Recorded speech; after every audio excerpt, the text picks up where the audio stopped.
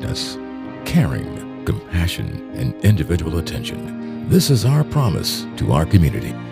Despite your low income or immigration status, our highly trained team, nurses, and doctors will provide you with high quality health care at no cost or low cost. The only priority of our medical center is the health of our community. Let All Inclusive Community Health Center become your medical home.